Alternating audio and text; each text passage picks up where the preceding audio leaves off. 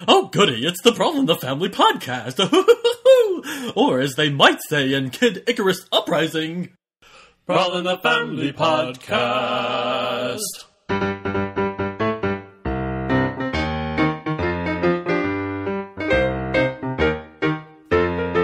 Podcast episode 4 Pikmin 3 and Nintendo's next system.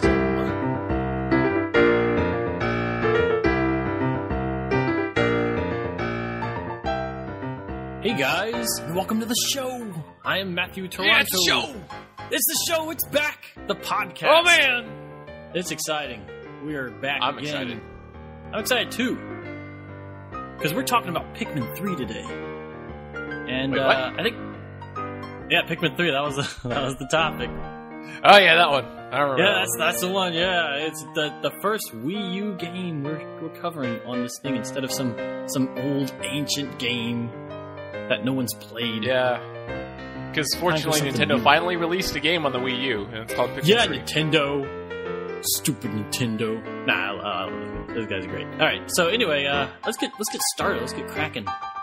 So uh, I'm gonna actually add a new section right here, right before our comic discussion. Ah, sorry, what am I talking about? Right before our game discussion, we are going to briefly talk about the latest news.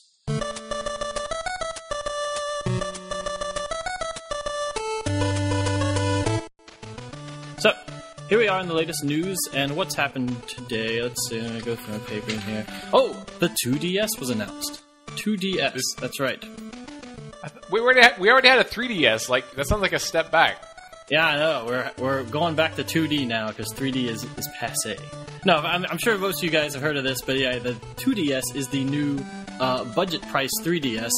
Um, except it doesn't play games in 3D. It's $130, and it's kind of a uh, lower end version of the 3DS, releasing uh, the same day as Pokemon X and Y. Now, uh, this this new device has been met with a little bit of controversy. So, uh, Chris, what are your thoughts on it?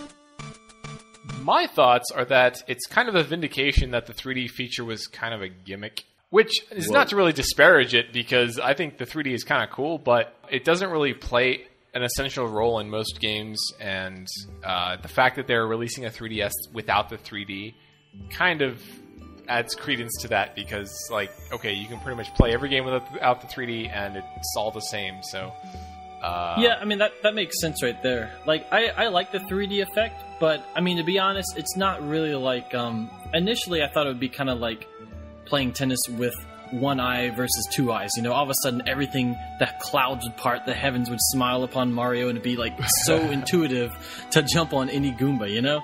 But yeah. I mean, it's it's a cool feature. It's nice, but you're right. I don't think it's really required in pretty much any 3DS game. I think there's a few of them where it kind of helps a little bit, but it's it's a pretty subtle thing. And um, I, I know a lot of gamers either can't see it or don't really care about it. So I mean, I think the 2DS is a, is a pretty good idea in that sense, and also because But it's not foldable. yeah, it's kind of weird. It's like a it's like a slab. Big It's like a, uh, slab. Yeah. but you know, you know what else isn't foldable? The iPod. Wait, or pad. Even the iPad. Yeah, Yeah, but, that but that thing. Okay, the difference is on, on the iPad, the whole thing is pretty much like screen surface area. On the 3D, on the 2DS, excuse me, it's like you know you have a couple little screens in there, but it's a lot of like flat, blank plastic. Yeah, that, that, well, that, that's true. It it's it's actually one screen in there. So um, that, that's kind of weird, you know. It's like one screen displaying two different things, and the rest of it is covered. But um, I think the clamshell design, like taking that away, was was part of the. Uh, I guess two things. That was a cost cutting measure, and also I think uh, 3DSs would be kind of broken by kids a lot more due to that thing. Like the hinge would be kind of the first thing to go. So I think it's kind of a case of considering the target audience, and it's really the target audience in this case is kind of uh, younger kids and people that are kind of on the fence about getting a 3DS and waiting for kind of a budget version. But it sure does look funny. Yeah, man. It's It really funny funny. looking. Yeah. So I I mean, mean, I guess it kind of fulfills those needs, but I, Yeah. I don't think. I mean, I got a 3DS. I wouldn't buy one. Yeah, I mean, but I mean, yeah, we, we got to remember it's not really for us. Like if I if I had a son or daughter that was like six or seven and they really needed a 3DS or really wanted a 3DS, you know, I, I would consider this, for instance. But for me, I like my XL, Yeah. nice and big. All right, so other news. Um, there's finally a Wii U price drop. Price drop for the Wii U. Finally. We all saw it coming. I was I waiting think- for it. Yeah, yeah. So three hundred dollars now with Nintendo Land, or if you want to wait for the uh, Zelda bundle, which comes with kind of this gold filigree around the uh, Wii U gamepad, and uh, Wind Waker HD sort of pre-installed. Um, that's the same price, but without Nintendo Land. Oh, so it's the Wind Waker like downloaded version. It's the, the digital version on the console. Yeah, it's a digital Wind Waker, which is kind of funny because I don't really associate Zelda with the kind of game you you would need to have like to play a little bit each day. But I mean, yeah. I, I, I'm sure it's you know I'm sure it's cheaper on Nintendo's end, and uh, you know you're still getting the whole game. So Yeah, kind of a there's good no deal. Nintendo Land. Why don't they put Nintendo Land in there too? I mm, well, uh, I guess that'd be more expensive. the, the idea is you have yeah you can either get the Nintendo Land one or the Wind Waker HD one. Yeah, well, I mean you know beggars can't be choosers, I guess, because uh, it used to be 350 with Nintendo Land. It's cheaper, but it's not a lot cheaper. Yeah, it's like a fifty dollar price drop basically. So for those that didn't want Nintendo Land but did want Zelda HD, um, this is a pretty good deal because it's basically hundred dollars cheaper than what it would previously be for that. Without except without Nintendo Land. Without Nintendo Land, you're right, right. Um, I well, this is probably for an- another podcast, but I'm not feeling too excited about Wind Waker HD just because the original just looks so good, It does. It does. and it's age. It's like the the game that's aged the least out of that entire generation. yeah, you can look at Wind Waker nowadays, and it still looks like a fantastic game. It's it's really a gorgeous game, and uh, I really don't see the benefit of choosing that for an HD version. Yeah. Now, um, the initial screenshots actually had me a little worried because it looked like they subdued the cell shaded effect, but that turned out to be like not that representative of the actual game. The actual game itself looks pretty nice running uh, in person, but you know, if you don't have Wind Waker, I would suggest getting it. Well, sure, Wind Waker's a great game, but you could also just buy it for like ten bucks on eBay or something, and you'd be set. yeah, that is true, and it'll still look good. yeah. All right, so that's that's the latest news for now. So let's move on to our game discussion. Pikmin Three.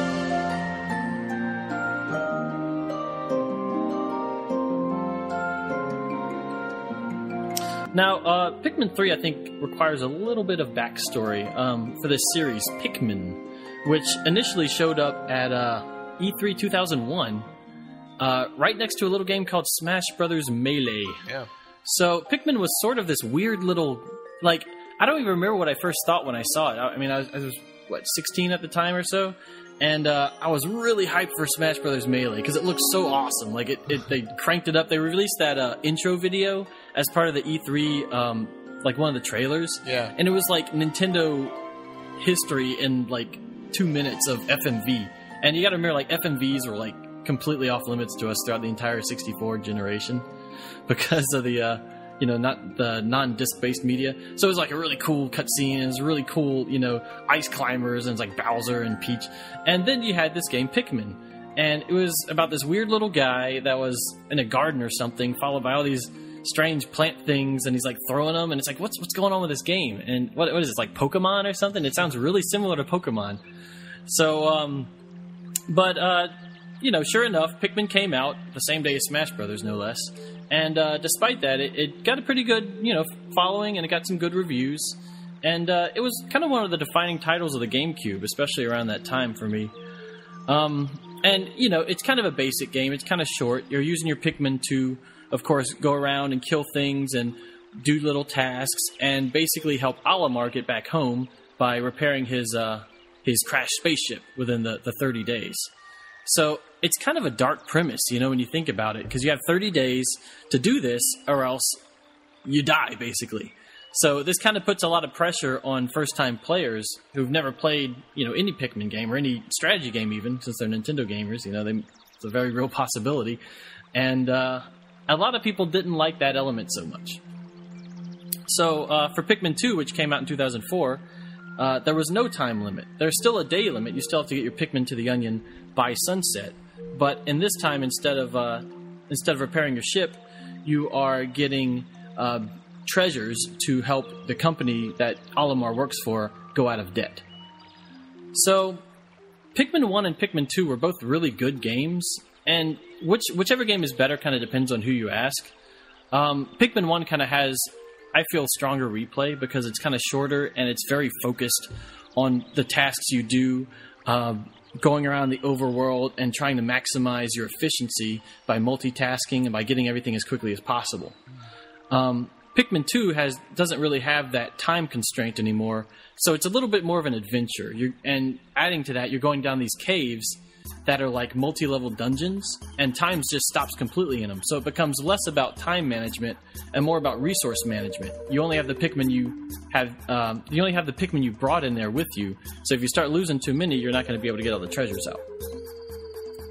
So, uh, Chris, what did you think of like the uh, age-old argument of Pikmin One v Pikmin Two? Like, do you have a preference there? I do. Um, I really preferred the first Pikmin. Um, I think the focus you referred to made it a much more interesting game. Um, I, I, never beat Pikmin 2 actually because I don't know, it, it just felt kind of aimless to me. I, I wasn't really motivated to continue on. Like there were all the like the cave dungeons and stuff were, were a cool idea, um, but it just it kind of dragged for me. Um, I mean, the multiplayer was kind of fun and you know the level design was good, but I, I, I, preferred the focus of the first game, and I thought the the time limit really added to the sensation of you know, it gave you kind of a a driving motivation to actually, you know, find the the items and get off the planet. Um, and I liked that a lot.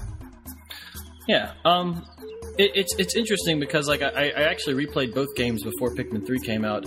Um, you know, the, the months before then, and Pikmin two. I, I find it really enjoyable when I first uh, played through the game just because I never knew what was coming up next, and there were all these bosses, and there was like this Piklopedia thing, which is kind of like this whole encyclopedia and all the different um, creatures and stuff, and right. you could view them and, and, throw food at them and watch them react and stuff. And uh, it, it just was really polished. But I think the replay of that game is not as good. Like if I think about replaying a Pikmin game, it, at this point it's going to be one or three, just because two is it's so big. It's almost like I don't know, like a Zelda or something, where you don't really you enjoy it, but you don't really want to replay it that much. And and yeah, the dungeons do kind of feel a little bit like a slog sometimes, since they take up so much of the actual game's time. Um, they they can get a little bit tiresome. I mean, that it's a pretty long game. So, I guess that brings us to Pikmin 3, which kind of combines several elements from both of the games. So, Pikmin 3 uh, it changes a few things from Pikmin 2 and from Pikmin 1. Uh, you have this 30 instead of the 30 day limit or the uh, no time limit you have kind of a compromise where you get fruit uh, from the levels and each fruit gives you between half a day to three days extra to uh, to find more fruit you know you're playing as three explorers that are looking for food because um, their their planet's on the brink of starvation so it's cool because you don't have a strict time limit but it still keeps you on your toes in that you have to keep uh, making progress each day to be able to earn more days to play. Right. Um, so it, it's kind of a way they have their cake and eat it too. Although it's a little bit, um, it's still a little bit of a of a false like limit because any decent player I think is going to accumulate a lot of extra days through getting the fruit. Like past a certain point, you're going to have like 20 or 30 or 40 more days, and it's like you're not really going to feel that pressure anymore. Yeah, I, I, had that experience as well. It felt like uh, you never really had to struggle to stay alive. Um, I liked the idea. I mean, it was it was cool to see all the different kinds of fruit and how they you know turn them into juice, and then the juice can yeah. change colors. Like, yeah, the, the ju- yeah, yeah, the juice is so like uh, it's it's so uh, it's so fun to watch, just yeah. like it pouring into the thing and changing the colors in the kind of subtle way. Yeah, they did a good the, job with that. The fruits are so yummy looking too. like pretty good. It's, it's a it makes me want to eat fruit. Yeah, yeah. The, it's like a it's like a hidden agenda in the game. From a visual standpoint, fruit. they did a very good job, but uh, from yeah. a gameplay standpoint, it doesn't really make it feel you know limited or there isn't much of a time constraint. I mean, maybe in the first few days, you know, you feel like right. Oh man, I, I don't have any juice. I gotta find some fruit, but it, after that, it, it kind of just becomes you know kind of more like Pikmin 2, where you're just kind of going, okay, I'll go to this level or I'll go to this level, and you're not really worrying about staying alive. Yeah. Right, right. That's true. Um, and they, they did take out the caves entirely. Uh, Yeah. Everything you do now is is is on on the, the actual day's length and stuff. Which means I think the combat is a little bit more subdued in this game compared to Pikmin 2. Pikmin Yeah. 2 was really combat heavy. Um, but at the same time, Pikmin 2, uh, a lot of people will agree that it, it was a little bit unbalanced in terms of the Pikmin type. Because once you get enough purples, you can pretty much steamroll almost any enemy besides like the electric ones Right. because your whistle is pretty uber. Like it, it you know can summon things that are like it basically dispels Pikmin on fire or that are drowning or that are poison. Um, so yeah, so there's not quite as much combat in Pikmin three. It's kind of more focused on uh, multitasking because you have the three captains now.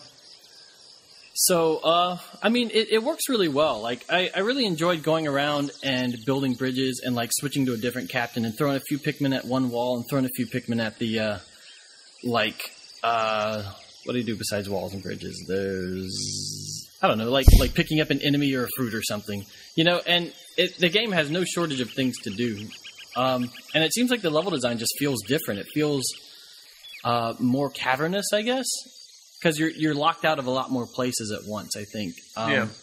The past game kind of felt a little bit more open, but I, I think uh, it, it works really well to the game's advantage, and I think it's going to be uh, an enjoyably replayable game, um, all things considered. Yeah, I, I could see the uh, the ability to multitask. I think was a good idea, and I think I could see it probably being really uh, advantageous for like speed runs or something. But but Yeah. just playing through the game, you're not really pressured to make much use of that. Like most of the time when I played it, you know, I knew that I could send another guy off to work on something else, but you're usually completing one thing pretty quickly. You know, you can just wait for it to finish. It's it's not you don't have a lot of pressure to do multiple things at once. Um, and Well, yeah, that's true in terms of the in terms of the uh, like the actual gameplay itself, like in terms of the main game, because you probably won't have a shortage of, of food. yeah, But um, what people have been doing is is like you said, the speed runs. There's there's like a ten day run for getting everything, wow, which is pretty insane. Um, I can't even imagine being able to do that. I think my first run took like forty days or something. But um, I, I think you're right in that the, the main gameplay itself doesn't actually call for that too much, unless you're like me and you just can't leave any Pikmin behind for sunset. like I went through the whole game without any Pikmin dying to sunset. That's kind of like my that's that's kind of my big thing. Like I can't leave any Pikmin behind. that's very noble of you. yeah, they can get eaten, they can get drowned, they can get flattened, but they can't get left behind for sunset. the the game makes a special like case for Pikmin that die by sunset. You notice that? Like like it, it has a separate category for that. Yeah, yeah, you're right. So right. it's like, wow, you know, it's just, it's just, uh, just carelessness, you know, if you lose them like that. So that that's led to some kind of uh, nerve wracking final moments. But I, I will say this about multitasking. Um, there's the mission mode, which I personally like uh, as much as the story, pretty much, because it really is. Um, it really does basically train you to play the game to its fullest and be the most efficient you can be. Uh, you basically have these five.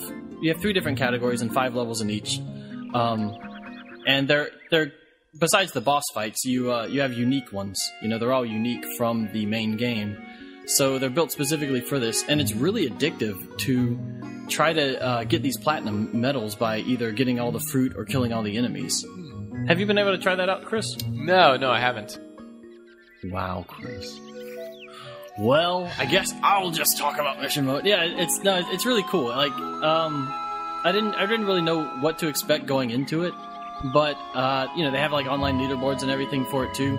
So, I just, I just really like uh, trying to maximize your efficiency in these games. You know, you throw one leader over here to pick up, you know, to pluck Pikmin, and throw these guys on the wall, then switch leaders, and he's done plucking Pikmin, and you throw in Pikmin at these, you know, snow drifts to, for them to start digging out, and you throw a few more at a wall, an electric wall, and then you have these other guys building a bridge. It's just really, uh, it's kind of intense, you know? You're Yeah, that sounds super focused.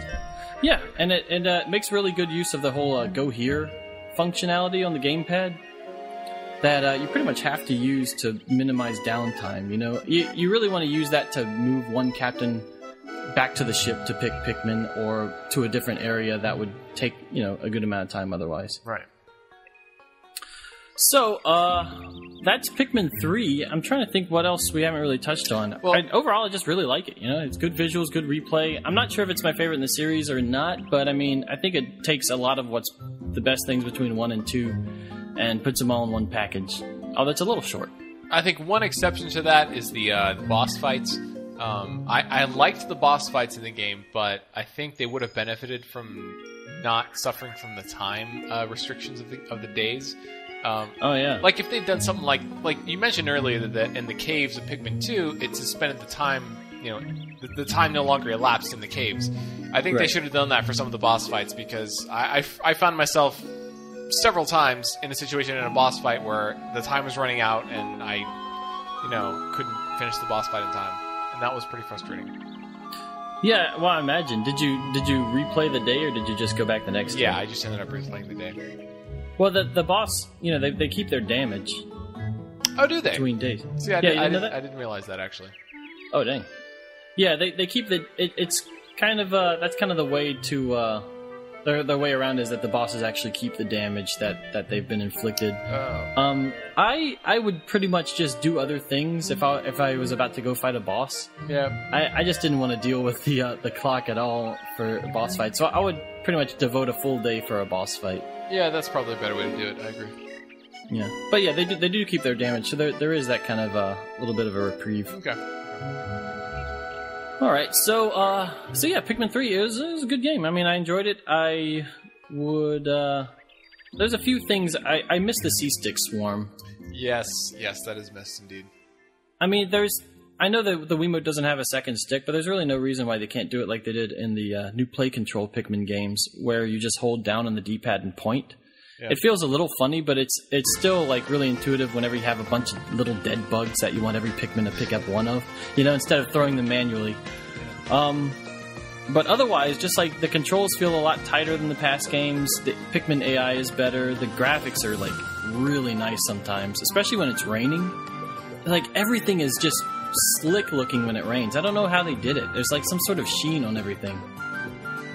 The visuals are done very well in the game. Um, I think particularly the the fruit looks amazing. Um, but everything else does too. Like it's, I don't know. I, I know what you're referring to by the sheen of like the you know wet surfaces. Um, they they put a lot of good detail into the different effects of the game. I think that's the Yeah. main strength of the game is the visual effects. Um, you know, if you look really closely at some of the textures or something or polygons, you know, Yeah, some of the ground textures are a little iffy. a little but iffy, but th- that's pretty the, minor. The, the lighting is really nice too. Like the lighting Yeah. is yeah. feels kind of on on the next level compared to, to other Nintendo games. So, That welcome to the world of HD, Nintendo.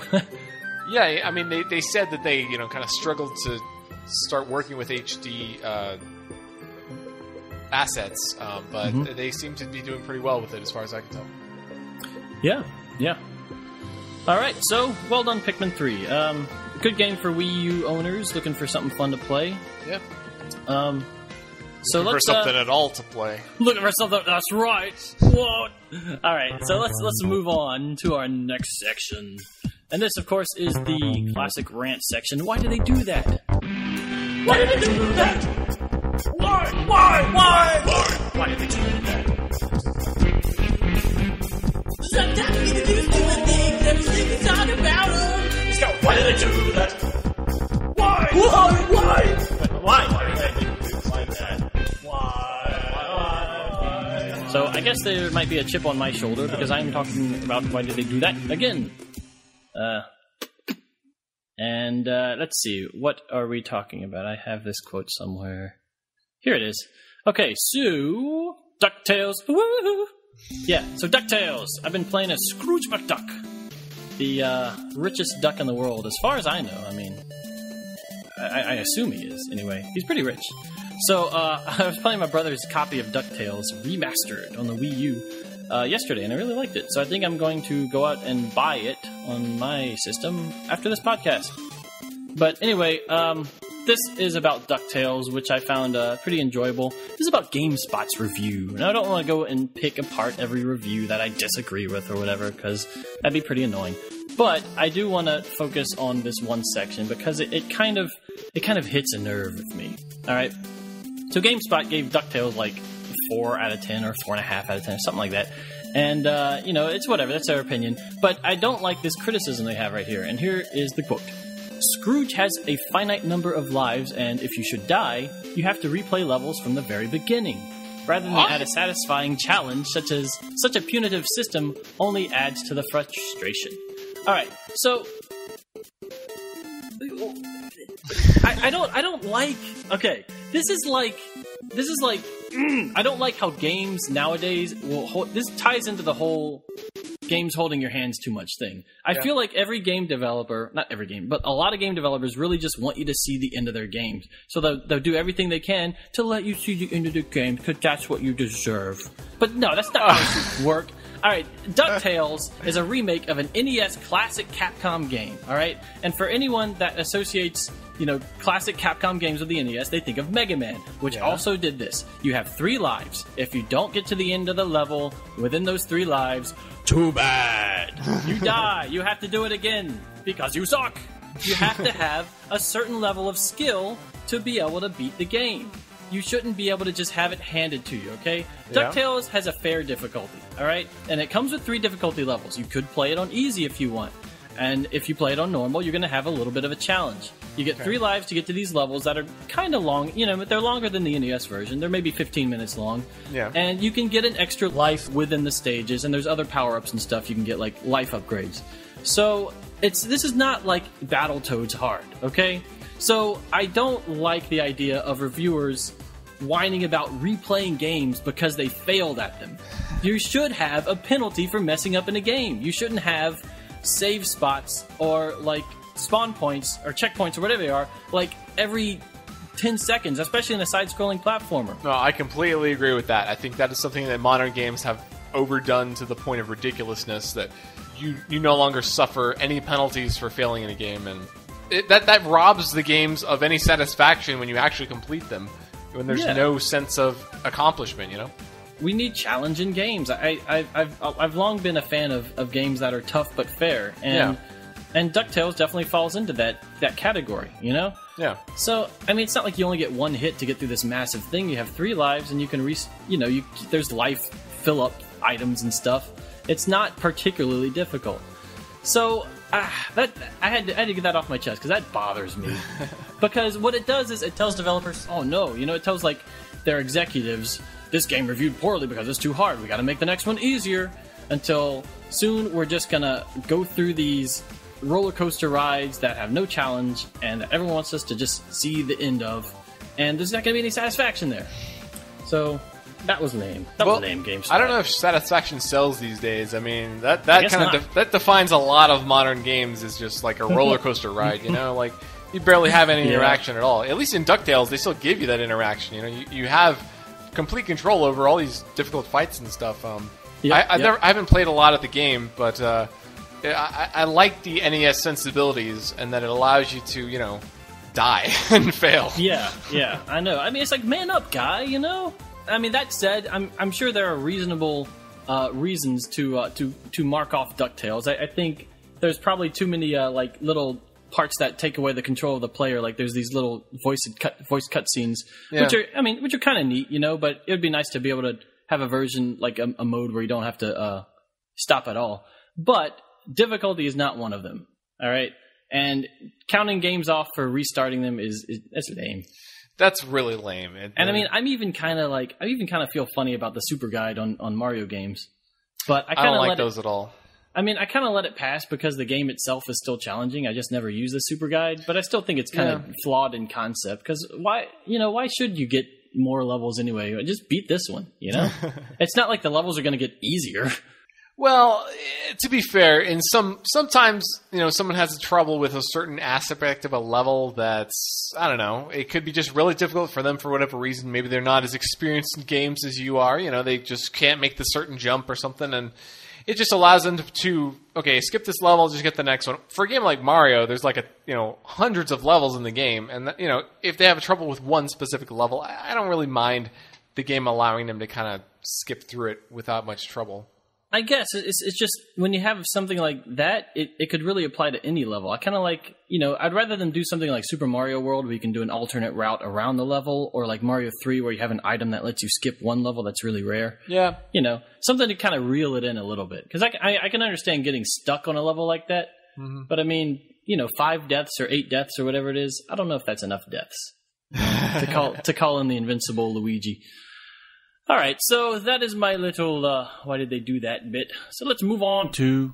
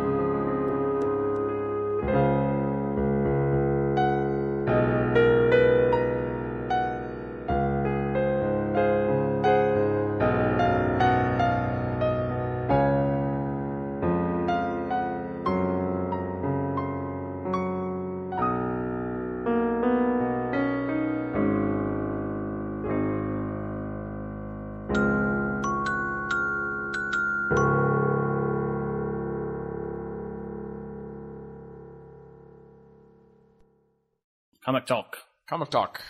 Comic talk. All right, so uh, this is our first comic talk past 500. Yeah. All right, so we still have kind of a number of these, so I'm going to go through pretty quickly, as quickly as I can anyway. Fruit Delivery is our first one. This is uh, my Pikmin 3 sort of poster sized comic where they uh, are delivering the fruit and then suddenly it disappears and all of them look very guilty and fat. Um, yeah, a couple notes on this one. I, I actually, this is the, one of the first comics where I wanted to make a really long comic horizontally, but I was worried about the programming aspect of the thing on the site. You know, because like nobody wants to scroll horizontally, but to do Yeah. it for like one comic can be kind of fun, you know. Yeah. But I, I didn't want it to mess up with any of the formatting of the site. I think it would have started looking funny, so I, I kind of worked it into a, a vertical format instead.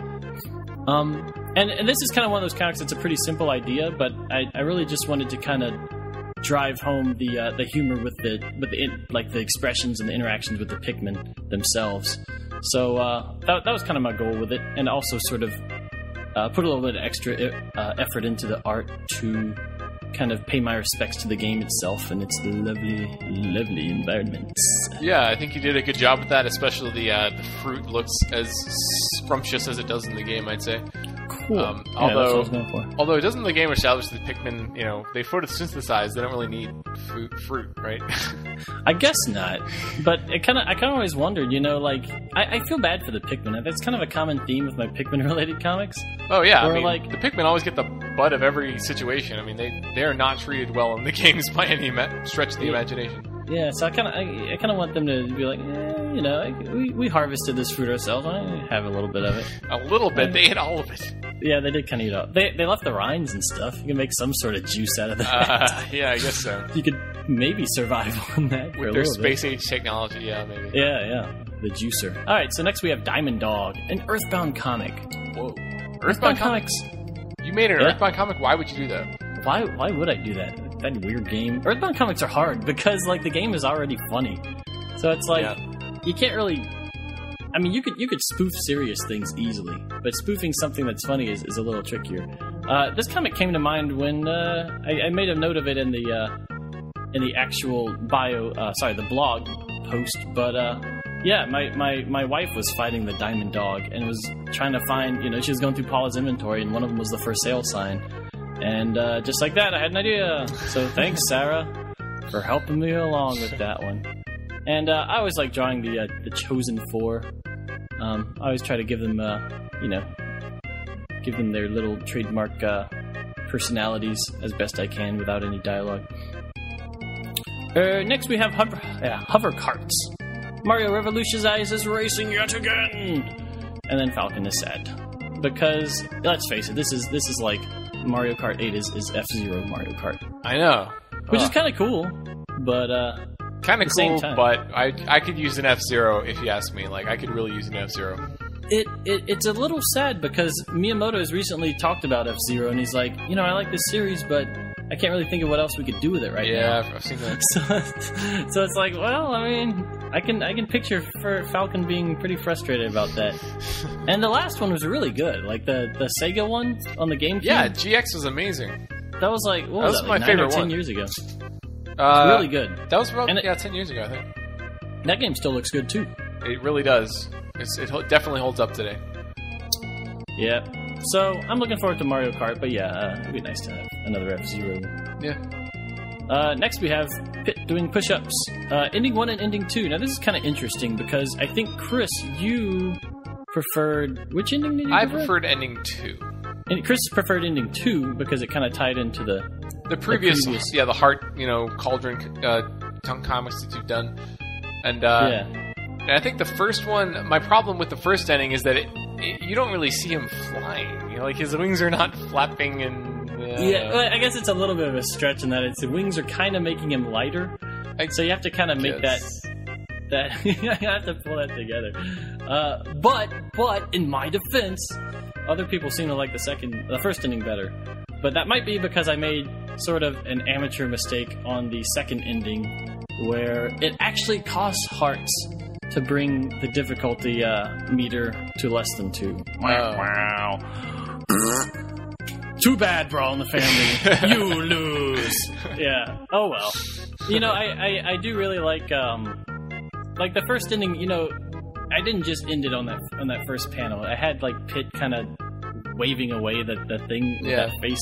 I, was, I was really happy with the way that panel came out because Yeah, it's that's like, cute. I don't know. Uh, uh, I like Pit. You know, he's he's just the man. He's a charming little guy, but He's a charming uh, guy. I, I,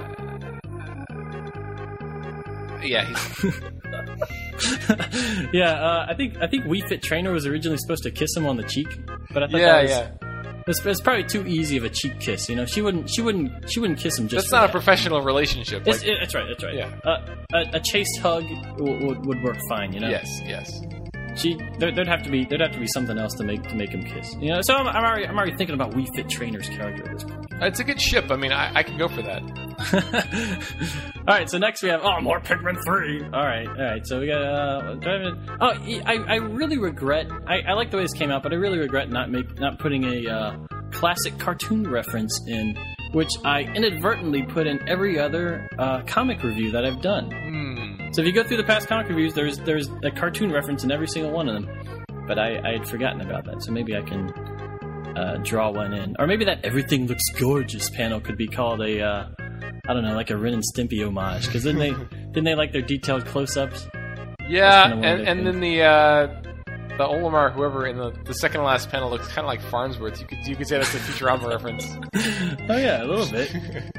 He's got those opaque glasses. Yeah. Yeah. Actually, that's technically uh, an old Alph. Is who that is. Ah, okay, okay. Although I guess it's hard to tell since Alph doesn't really have too many distinguishing features besides his, his He freckles. just he just looks like Olimargs with really wide eyes. Yeah, that's true. yeah, it's like Olimar is always shocked Yeah. as our elf. All right, next we have Villager versus Bowser, where Villager fights Bowser and Bowser pushes down the. No, he doesn't push down the tree. I changed this. Yeah, uh, the Villager chops down Wispy Woods, and it's very sad. Uh, is this your first time seeing this, Chris? Uh, yes, actually, I hadn't seen this one. Oh, nice. All right, all right. So we get we get a we get a live unveiling. Yeah, initially, uh, what did I do? Oh, he chopped down the tree and it broke on Bowser's head. And then Bowser got mad and pushed down Wispy Woods, like uprooted him onto the villager, which I thought was kind of awesome because I've been playing Mario and Luigi Bowser's Inside Story, and like his his character in that game is so well done. Like he's he just everything he does, he always has to have some sort of Bowser like uh, reason for doing anything he does, and the, da- the game does a good job of keeping him in character like that, and just having him be pretty brutal whenever he needs to be. but uh, I changed it because uh, I think I mentioned it somewhere in the back. Oh, uh, wait.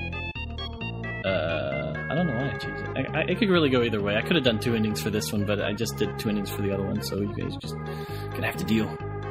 Uh, I mean, that's pretty gruesome, though. Like, I mean, Wispy Woods is like a recurring character, and you just murdered him.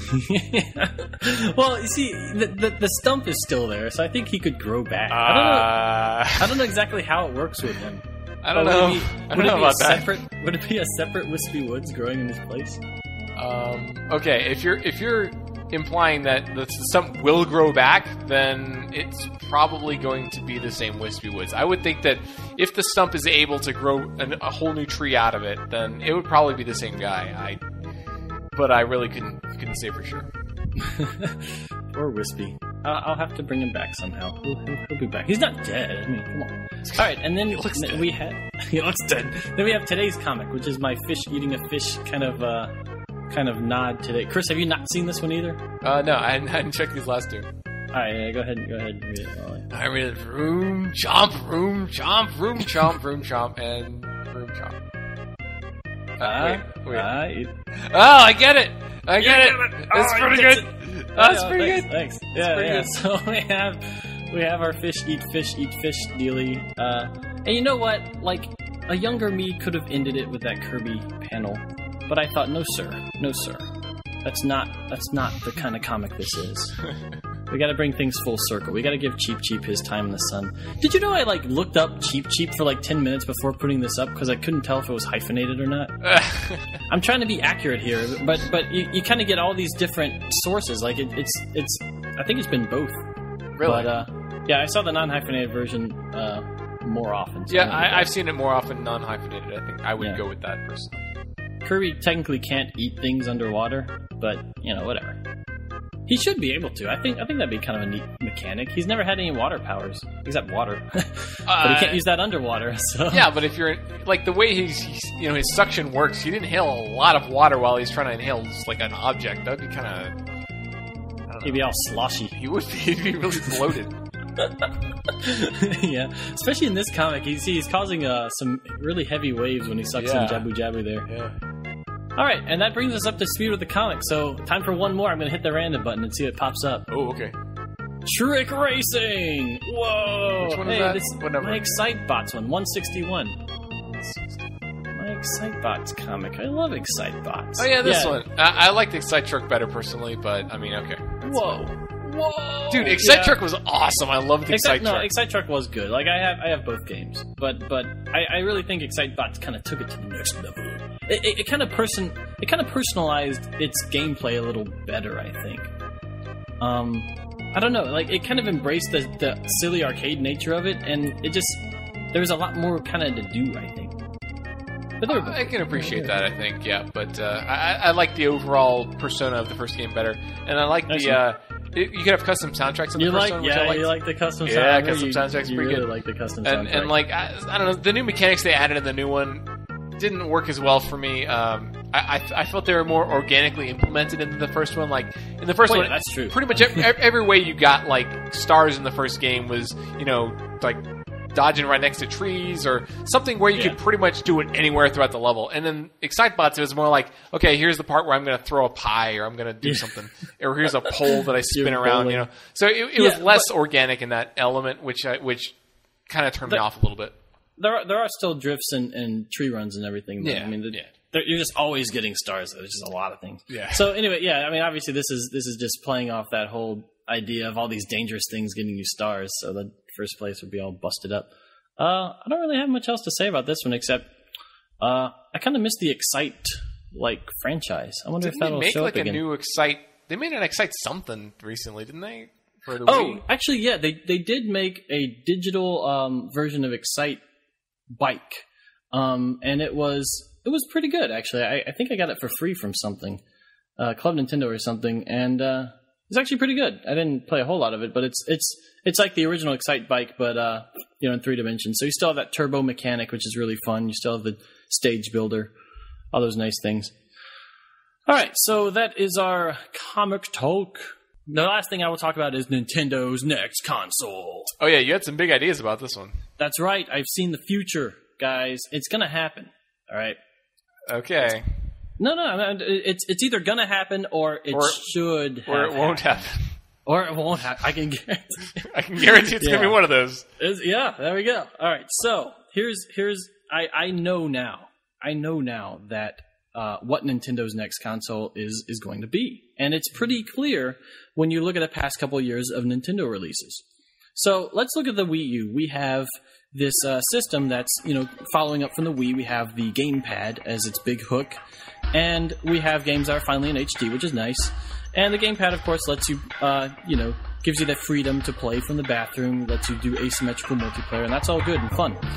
So. Uh, and then we look at the games coming out for the Wii U. We have Super Mario uh, 3D World. We have Donkey Kong Tropical Freeze. We got Smash Brothers. We got Mario Kart. You know, the usual suspects that kind of have to be released on every Nintendo system. Now, let's look at the 3DS. The 3DS is the most advanced Nintendo handheld there is. It's 3D, it's a DS, it's a 3DS, it's got the power of a GameCube in it or whatever. It's strong, you know. And games are 3D now. They're polygonal. They uh, are, you know, 3D free roaming. And if you look at the games on there, we have a Kid Icarus, we have Mario 3D Land, we have Mario Kart 7, we have Donkey Kong Country Returns 3D, which, you know, is technically a Wii game, but it's on the 3DS. And we have Smash Brothers. So, Here's what I see. I see Nintendo consoles getting quirkier and quirkier. First we had the Wavebird, then we had the Wiimote, now we have the Gamepad. They're getting more and more wireless. Nintendo handhelds are getting stronger and stronger. They're going to intersect next gen. We are coming to a head, and it's obvious to me when you look at games like Smash Brothers, which is being developed on both the Wii U and the 3DS, and they're identical. They have the same roster. They have. They don't have the same levels. I can't say they're identical, but they do have the same roster, and they're trying to have all the features basically in both of them. Now we don't know a whole lot about Smash Brothers, but that's what's going on. Simultaneous game is being developed. Let's look at Mario Kart. There was a just we just had Mario Kart 7. Now we have Mario Kart 8 because you have to have a Mario Kart on every system. Mario 3D Land, Mario 3D World, pretty similar games. Donkey Kong Country Returns 3D, Donkey Kong Country Tropical, Tropical Freeze, pretty similar games. The next Nintendo system will be a home console handheld hybrid. You can carry it around with you, you can have the console plugged in, and with any luck, it'll be like the Wii U where you can carry the handheld part with you and it'll just read from the console, but anywhere in the world. So you can carry all your expensive stuff around without having to carry your expensive stuff around. You can leave it at home plugged in, and when you get home, you can play it on the big screen in glorious HD. So why why why will this happen? Because Nintendo has to split their resources right now. They have to think of ways to make another Mario Kart on this handheld and on the home system and make them both worth buying. They have to make two Smash Brothers games and make them both worth buying. They have to do Mario 3D Land and Mario 3D World and have them both worth buying. Like they, if they just had one dedicated system, they'd only need one Mario Kart, one Smash Brothers, one Super Mario 3D game, and they could have so many more resources and without having to double dip, and they won't have any droughts because all of their massive amounts of teams are focused on one console slash handheld. So that is my proposal, the Wii DS, and it's gonna happen. You know, I've been trying to think of a way to discredit your ideas and say you're crazy, but uh, that actually sounds really reasonable to me. Well, thank you. yeah, I, I mean, eh, eh, you know what else? Trump card. Think about the recent Iwata comments about combining the handheld and console divisions of, of the like the game designers. Yeah. they just combined a few a few months ago. I mean, that's kind of a giveaway. I think So- that makes a ton of sense, actually. Yeah.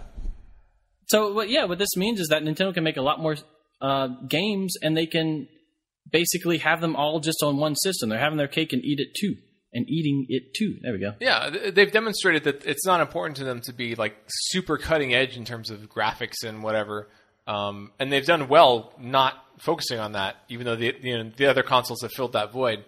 Um, and if their next console is going to be a handheld console hybrid, it probably won't be cutting edge in terms of graphics as well. But I mean, the market's already established that it doesn't really care about that. Um, Yeah. You, you, you don't have to worry about splitting the market anymore. You know, Yeah. you don't have just handheld gamers or just console gamers and having to appease both of them with uh, you know a steady stream of, of releases. Yeah. Nintendo said that the 3DS had a big problem when it launched. I mean, well, we know this. I mean, they didn't have to say it, but they they came out and admitted this because um, they you know they didn't have enough resources, so they had to divvy up their resources and put it all on 3DS development to get out Mario 3D Land really quickly, Mario Kart 7. You know, they, they brought out all these games. And then the Wii U came out and it had the same problem because of all this 3DS development. Hmm. So it just seems clear to me to have it all in one place since that's where consoles and handhelds seem to be going from Nintendo anyway. Yeah.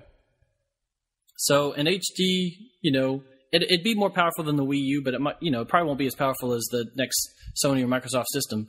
But that that would be, you know, kind of one of their their hooks. They'll probably have some secondary hook too, but I'm pretty sure it's going to be something like that, and it will be great. I think that'd be really cool. I'd honestly be pretty excited about that. All right, well, cool. Me too. But that's like, like what five years off or something. Yeah, that's a little ways off. It just seems to me that's that's kind of where things are going. I, I really hope they give me like you know I hope the 3DS version of Smash Brothers feels significant enough to to, to warrant you know buying because I I do want it. I just want to make sure you know I'd, I'd like it to be as good as it can be. I just hope I don't want it to pull away resources from the console version either. Well, yeah. So I mean, if you're going to obviously buy the console version, but what I mean, Yeah, for them, it kind of seems like the main version of the game, you know. yes, and I would kind of wonder what they're going to do to make the 3DS version seem worthwhile. It, it needs something besides just portability. Yes, yes, it does. I mean, I'm sure it'll be fun, but Sure. like, you, you, why, why, why do I need this in addition to the console version? Yeah. Is kind of what I'm, Yeah. what I'm thinking. Yep. All right. Well, that is pretty much uh, a wrap, I think, for today's episode of the podcast. Um, I think that was was fairly efficient. Yeah, yeah. I'm trying to trying to make it make it snappy. You know, Mm-hmm. keep it keep it moving. Um, I know last time we had kind of a supersized one, but uh, if we want to do these fairly regularly, I want to keep them a little bit more uh, condensed in terms of information. So thanks for listening to our show. Yeah, thanks, guys. All right. Well, until next time, I'm Matthew, And I'm Chris. and we'll see you next time around on the Brawl in the Family podcast. Thanks for listening. Bye bye.